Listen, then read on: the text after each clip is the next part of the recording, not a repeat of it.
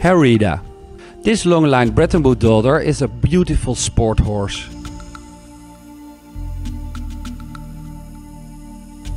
Herida turns heads with her friendly presence and willing character.